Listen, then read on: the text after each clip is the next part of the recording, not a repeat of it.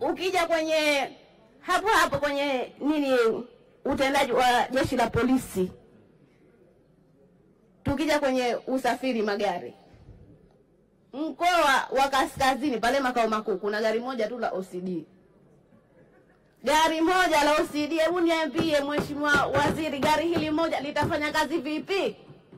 Kule mhalifu kashaiba, huku huyu kashalawitiwa, gari hilo moja litafanya kazi vipi? Mheshimiwa Waziri, nikuombe katika haya magari ambayo kwamba nimesikia hapa ukiyataja, hebu na sie tu, tuangalie kwa jicho la huruma, tupatie angalau gari moja, mtuongeze gari moja, angalau tuwe na mawili. Baada ya gari moja hakuna hata pikipiki moja inayofanya kazi.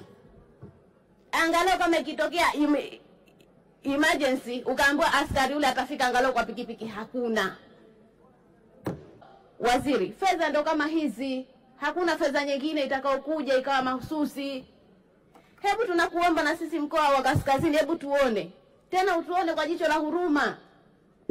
Kama kwa mfano kuna nyumba inayokaliwa na familia karibu familia kumi na mbili na zaidi ya jeshi la polisi, askari polisi hawa wanakaa katika mazingira magumu, jengo ni bovu. Ninavyokwambia kipindi hichi cha mvua ni kama chungio, mbora ukakae kwenye muembe kama ile nyumba wanayoishi. Hili ni jengo linaitwa Laiki Kilimanjaro, lipo karibu Uzunguni kule Wete Pemba. Hili jengo haliridhishi, hali ni mbaya mno.